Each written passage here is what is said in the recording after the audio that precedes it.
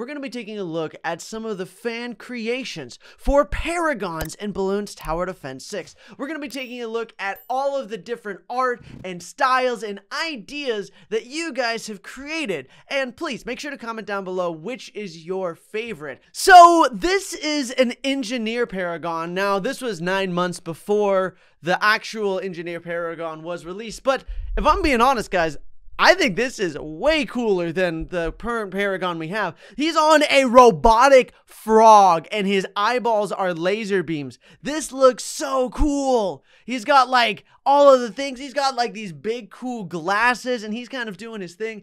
I love the concept behind this thing. I like the green as well. I, I don't know if there's any real like green in the normal engineer, but this is still pretty saucy. I don't know what these battery towers are back here, but maybe they work kind of like how the old village worked, where it had like the lightning tower that shot down. And he's got a little, he look, even his hands got like this minigun. He's like, this would be actually so cool. Also, what does that red button on his gauntlet do?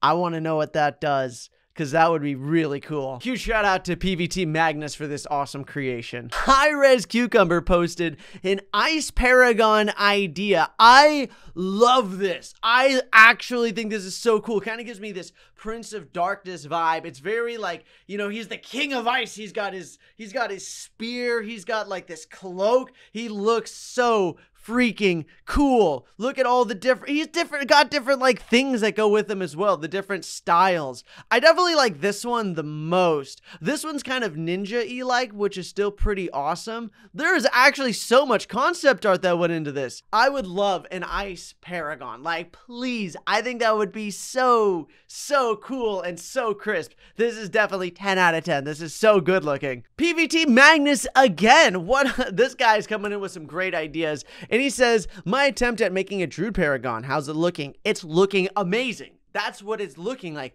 It actually captures all three of the features of each thing very, very well. And I think that would be pretty difficult to do, mainly because each Druid is so drastically different. You got the, the, you got the storms, then you got the nice nature side, and then you just got this angry dude, right? And those are your three different paths. And this does such a good job. Like he's got his like cloak is a dark thunder cloud, which red lightning, which is for the the druid of the, the wrath mixed with your top path storm dude. And then you also you can see he's got the horns from the nature and he's just like and he's also got like that cloak so he's very refined but he's kind of like nature's wrath and i feel like that would be I think that would be the Paragon name. That would be my my suggestion is Nature's Wrath. And like that would be so cool. I love this guy. This is so far is my favorite concept for the Paragon. It's so good. A new concept for the Spike Factory Paragon uh, by user deleted.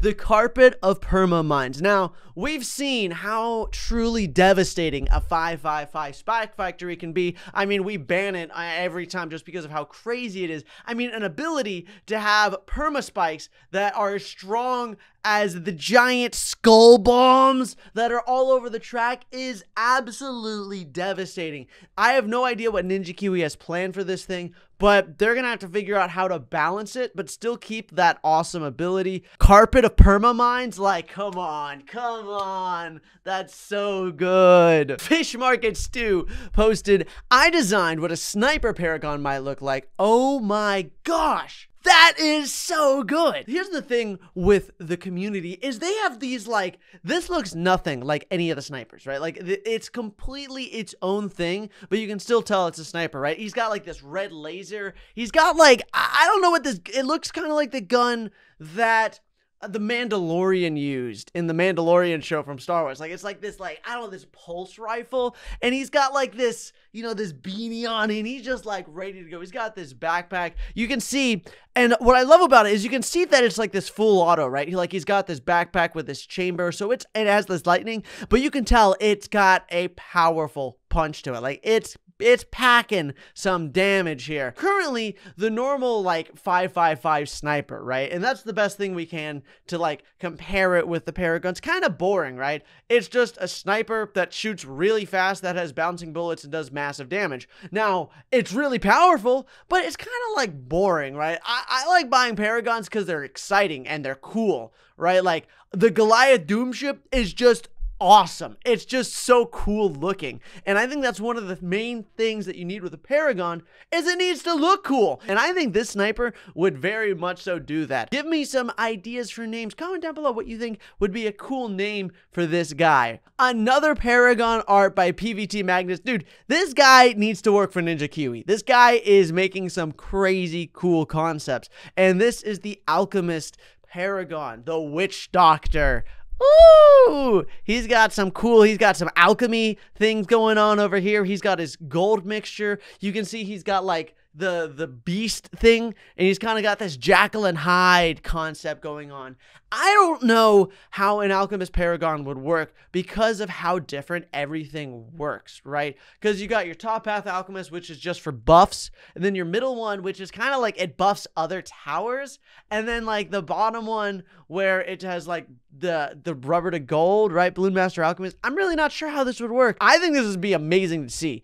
I don't know what it would do. Maybe he just makes potions and then the potions he gives to like the the monkeys turns them into like monsters. And then like it's kind of like a permanent brew monster thing where it just gives them these crazy attack properties. I don't know but i'd love to see this implemented into the game. Oh my gosh another one by pvt magnus who's just been coming in clutch and after ages. Here's my super monkey paragon the astral titan. I love this. I like this so much it's it's that one step above the sun. It's literally the galaxy. You've got the infinity symbol behind the monkey, and it's just this silhouette, and it's just pure cosmic energy that flows through this with the sun god. I like that it's simple. And what I mean by that is this is the true sun god like halo or crown, and then like the infinity symbol but it's just like a dart monkey, right? It, it's nothing crazy. It's nothing extravagant. It's just it's just a dart monkey. But you can tell how powerful this guy is, right? What if literally the Paragon, it just goes down to like a normal dart monkey again, but he has this like silhouette and it just crazy damage, like crazy. I think Super Monkey Paragon's my most looked forward to Paragon. And I think it's probably the one that Ninja Kiwi is going to release last, to be honest. Or maybe a Dartling Gunner Paragon. I think those two are the ones that I'm personally most looking forward to. Comic Con says concept art for a mage paragon. I love this is this is so it literally it's the it's the Prince of Darkness, but he's got the mustache on like the skull. That's so ridiculous. That's amazing. I don't know what the green is in the staff. But you can see, so it's the Prince of Darkness, and he's got the three different colors. And then you can see he's got the fire, mustache and then the skulls are different too. So he's got fire skull in this one and then uh like the water or like the magical in this one. I'm not sure what the green is on the the three staff points. And then he's got like the fire things. I like this, this a, it's a good it's a good smorgasbord mismatch of all of the uh different combinations of them comic-con again with a spicy spicy glue gunner paragon. Now I don't know how the glue gunner paragon is going to work. I, I guess it would just be kind of a mixture, the combination of all the strongest glues. I would assume, right? I think it would be kind of overpowered though, because one of the things with the glue gunner is you can really only go one path of glue gunner because it, it makes the other paths kind of invalid, right? For example, if you have like the top path and like a bottom path, they, they kind of like they can't both you can't have both glue on a balloon at the same time so having this where he's like has just this ultra powerful melting glue would be really really strong i mean he's got so many gizmos and gadgets and pipes all over the place with all these different like bubble gum glue stuff that uh, the balloons would just they just wouldn't stand a chance they they got nothing on this guy burrito with a Paragon bomb shooter fan art. I like this. It's such a unique art style. It doesn't like it's not really Bloons art style, but I really like it. I like how it's got wheels on it. And it's got it's like an actual missile, ballistic missile. That looks so good. So that's design one. So this is the alternate concept. Honestly, the alternate concept is amazing too. Where it's like it's like this spider robot that kind of like walks around with this orbital laser cannon. That is so nice. I like this a lot. I think this is really cool because again, I think Bomb Shooter Paragon it's got some it's got some heft to it, right? Because I think this is something that can combine all three tiers and all three paths very well. And what I mean by that is you, it's a recursive cluster bomb that stuns all of them. And then all the little miniature bombs that go out are the Moab Maulers just doing crazy damage to extra Moabs with the bonus frag damage. It would just be like a nuclear bomb that goes off, just boom, every time that it fires. And I would just love to see that. PVT Magnus again with some saucy content. I feel like this video is like a video dedicated to this guy for making such amazing content. If you're watching this video, Magnus, dude, you are incredibly talented. If you want if you want to like work with me, bro, please hit me up, bro. Let's let's make some cool content together. so he has the Sorcerer of Resurrection. Oh my goodness. This is so good. The Sorcerer of Resurrection. What a saucy name he's got with that. One of the things that I really like about this is that you can see it's all good. And then you might say, what about the Prince of Darkness, right? Like why what is why doesn't it have any of this? But it does.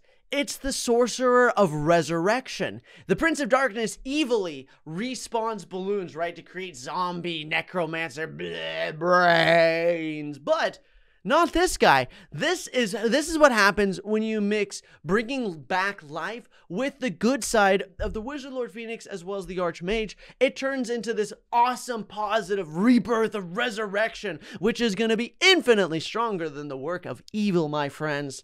And I think this is oh, I don't know which of these is my favorite, but they're all so good. This is what it would look like if a red balloon was a paragon.